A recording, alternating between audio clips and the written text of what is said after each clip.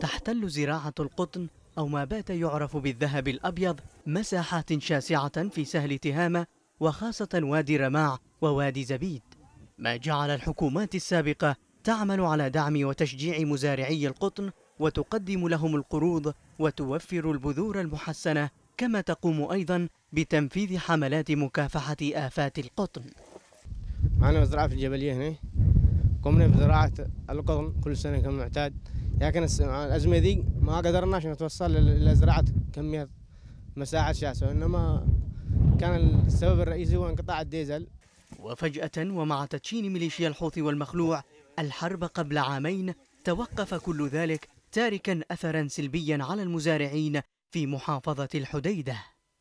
إذ باتوا يواجهون مشاكل كثيرة ألحقت بمزارعي القطن تدهورا متزايدا خلال سنتي الحرب خصوصا أنه لا يزرع سوى خلال شهري يوليو وأغسطس من كل عام. نتيجة ارتفاع المحروقات يعني تدنت إنتاجية القطن حتى وصلت إلى حوالي 200 ألف في العام الماضي.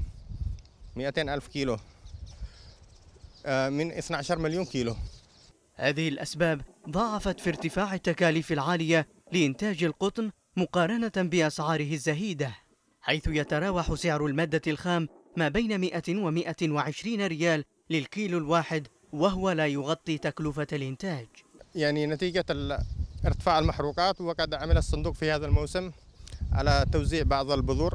في محاولات لإيقاف هذا التدهور ذهب الصندوق الاجتماعي للتنمية إلى تفعيل برنامج التدخل المتكامل في مناطق زراعة القطن والذي يهدف إلى تنمية المناطق الفقيرة وتحسين دخلها وفي مقدمتها عمال مزارع القطن.